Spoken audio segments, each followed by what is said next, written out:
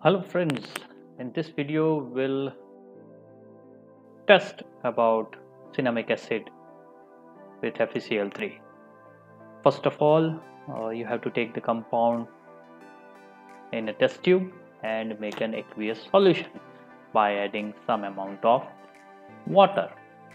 Now while adding water, it will be seeming that it is not soluble so heat a little bit so that maximum of the compound gets solubilized.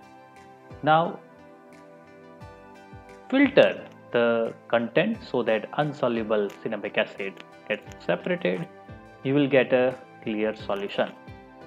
Sometimes you may observe some slight precipitates but it's not to worry. This solution you have to add a neutral FeCl3.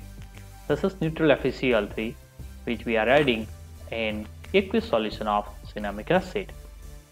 Here you will clearly see while addition of neutral FeCl3 to cinnamic acid will give a yellow color precipitates.